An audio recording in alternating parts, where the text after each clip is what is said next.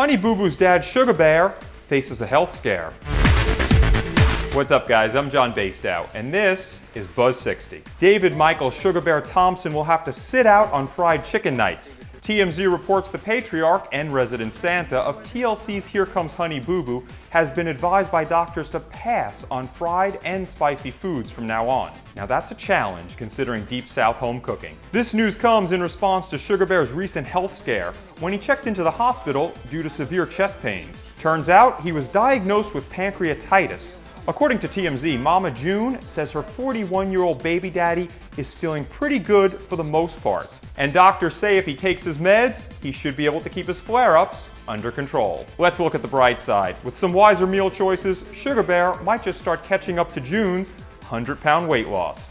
Buzz 60. Now you know. Pass it on.